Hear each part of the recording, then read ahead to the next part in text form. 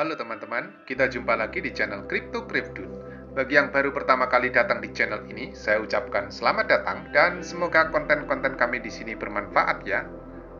Pada konten kali ini saya akan membahas satu tema yang penting sekali yang amat sering dilupakan esensinya, yaitu tentang Block Explorer. Block Explorer adalah catatan transaksi blockchain, misalkan etherscan.io pada Ethereum, blockchain.com pada Bitcoin, bscscan.com pada Binance, cardanoscan.io pada Cardano, solanabits.io pada Solana, dan lain-lain. Untuk mengetahui informasi di mana link untuk block explorer masing-masing blockchain, teman-teman bisa cek melalui coinmarketcap.com. Saya pernah membahas cara menggunakan informasi-informasi pada situs ini di konten saya yang linknya saya sediakan di kanan atas layar Anda saat ini.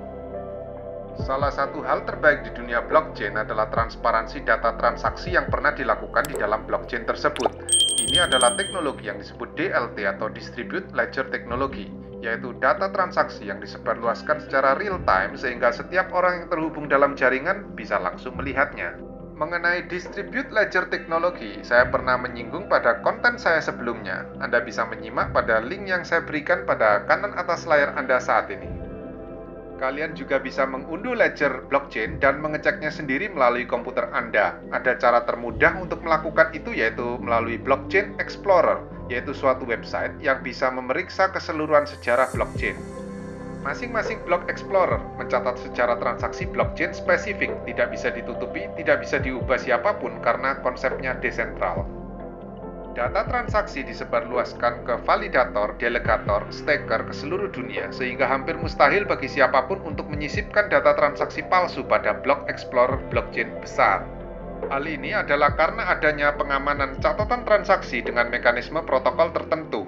Mengenai mekanisme protokol ini, teman-teman juga bisa mempelajari lebih dalam pada salah satu konten saya yang linknya saya berikan di kanan atas layar Anda saat ini. Semisal pada Bitcoin Block Explorer, teman-teman masih bisa melihat bahwa Satoshi Nakamoto, nama samaran pencipta Bitcoin, punya satu juta Bitcoin yang sama sekali tidak pernah ditransaksikan sedikit pun sejak sejarah Bitcoin ada. Lalu teman-teman juga bisa saja melihat transaksi pencucian uang yang dilakukan para peretas pada exchanger Bitfinex di Agustus 2016 yang membawa lari 119.756 Bitcoin yang bernilai 72 juta US dollar saat itu pada jenis blockchain yang rahasia atau privacy seperti Monero menandai suatu pengecualian besar untuk aturan transparansi data transaksi ini. Di privacy blockchain, kita bisa melihat bahwa suatu transaksi dilakukan, tapi siapa mengirim kepada siapa tidak diketahui. Dalam konten kali ini, kita akan belajar hal dasar bagaimana menggunakan piranti Block Explorer ini. Contoh yang akan kita gunakan adalah tampilan pada Ethereum Block Explorer, walau pada blockchain lain juga kurang lebih sama. Pada Block Explorer terdapat data alamat dompet pengirim, alamat dompet penerima, apa token yang ditransaksikan, dan berapa banyak. Pemilik alamat dompet dalam hal ini tidak diketahui identitasnya, hanya diwakili serangkaian kode alamat saja. Pada Ethereum, semua alamat dompet diberi kode awal 0x. Kita tidak bisa tahu siapa pemilik wallet kecuali diberi label oleh pemiliknya kita bisa mencari catatan transaksi yang melibatkan dompet kita sendiri dengan memasukkan kode dompet kita ke kotak search. Maka kemudian akan tampil sejarah transaksi wallet kita. Jadi ini alasan mengapa kita juga perlu hati-hati dalam melakukan transaksi besar sekaligus melalui wallet pribadi. Karena pasti ada orang lain yang akan bisa melihat seluruh transaksinya secara detail. Bila kita menggunakan wallet milik exchanger, maka tidak akan terlihat langsung pada Block Explorer ini. Lalu, apa resiko bagi pemilik wallet pribadi berisi kripto dalam nilai tinggi? Salah satunya penjahat bisa mengirim token palsu atau dusting coin ke wallet pribadi kita dengan bahasa yang sama dengan Ethereum, misal token berbahasa ERC20. Bisa pula berupa token NFT berbahasa ERC721 dan ditambah pesan-pesan tertentu bersama token itu supaya memancing kita ke situs-situs yang mereka siapkan sebagai perangkap untuk menukar token itu menjadi misalkan Ethereum dengan nilai konversi tertentu.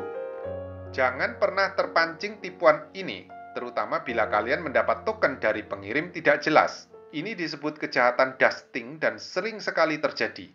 Dude pun pernah mengalaminya sekali dan kehilangan kripto yang lumayan besar jumlahnya. Semua teknologi awal mulanya dibuat untuk tujuan baik, tapi selalu ada kejahatan yang menumpang bersama teknologi tersebut. Maka itu, kita harus belajar baik-baik memanfaatkan teknologi baru dan uang sekolah karena kesalahan yang kita lakukan sering kali terjadi. Dan hati-hati pula ya dalam memasukkan alamat wallet tujuan transaksi, jangan sampai keliru atau lupa menulis kode memo bila diperlukan karena kekeliruan dalam penggunaan kripto bisa berakibat hilangnya secara permanen kripto kita dan tidak ada yang bisa membantu memulihkannya. Di dalam blockchain, transaksi dikelompokkan dalam grup yang disebut blocks. Blok-blok ini dirangkai menjadi satu dalam suatu catatan ledger atau catatan transaksi desentral. Inilah kata blockchain berasal. Hal paling penting di sini, semua transaksi disahkan oleh jaringan komputer tanpa nama. Dalam Bitcoin dan sebagian koin-koin lama, mereka diproses melalui mekanisme konsensus yang disebut proof of work. Di sini para miner bermodal energi komputasi yang sangat besar, berlomba menjadi yang tercepat dalam menyelesaikan sebanyak mungkin sandi rumit agar mereka mendapatkan hak untuk menuliskan catatan transaksi ke dalam tiap blok baru. Sedangkan blockchain seperti Solana, Binance, dan hampir seluruh koin-koin baru smart contract menggunakan mekanisme proof of stake yaitu validator melakukan penempatan sejumlah koin ke dalam sistem dan bermodal hardware penyimpan data seperti memori dan hard disk untuk bisa berpartisipasi sebagai saksi dan pencatat transaksi yang dilakukan penggunanya. Ethereum sendiri saat ini tengah pada fase akhir transisi peralihan dari proof of work ke proof of stake dan semua mekanisme pencatatan transaksi ini diamankan oleh sebuah protokol, biasanya menggunakan protokol Byzantine Fault Tolerant, artinya data yang bisa dimasukkan dalam catatan transaksi hanya jika data tersebut dikonfirmasi oleh setidaknya 67% dari total jumlah miner atau validator. Jadi hampir mustahil untuk seorang peretas mengubah sejarah transaksi pada koin besar seperti Bitcoin, Ethereum saat ini dengan jumlah miner yang mencapai jutaan komputer di seluruh dunia dan validator Ethereum yang mencapai 16.000 lebih tersebar di seluruh dunia. Ini alasan mengapa koin-koin besar lebih dipercaya. Teman-teman bisa mempelajari lebih jauh mengenai logika protokol Byzantine Fault Tolerance dengan menyimak konten saya tentang itu yang linknya saya beri di kanan atas layar Anda saat ini suatu logika komputasi yang menjadi landasan kesepakatan dalam suatu ekosistem yang orang-orangnya tidak saling kenal, tidak saling percaya, tapi bisa bekerja dengan baik dengan sinergi dalam bahasa logika. Kita kembali ke Block Explorer. Bila sebuah transaksi telah dilakukan antar wallet atau sedang diproses, akan muncul sebuah kode yang kita sebut hash. Kode ini semacam nomor kwitansi atau nomor giro begitulah. Transaction fee pada blockchain Ethereum adalah jumlah Ethereum yang didebit dari pengirim untuk biaya menjalankan transaksi. Dari jumlah itu, sebagian besar akan di-burn atau dimusnahkan untuk mengurangi jumlah Ethereum sehingga mengangkat harga Ethereum. Sedangkan hanya sebagian kecil saja selisih yang tidak di-burn diberikan kepada validator sebagai insentif mencatat transaksi. Di Etherscan, kita juga bisa pula melihat transaksi-transaksi terjadi dalam layer 2 blockchain yang menjembatani Ethereum dengan blockchain lain atau platform DeFi seperti swap market. Silakan kalian eksplorasi sendiri selebihnya, semua hal-hal dasar telah saya sampaikan dalam konten ini dan konten-konten sebelumnya. Demikianlah kali ini pertemuan kita. Terima kasih sudah menonton hingga usai. Berikanlah like, share, dan subscribe ya. Terima kasih.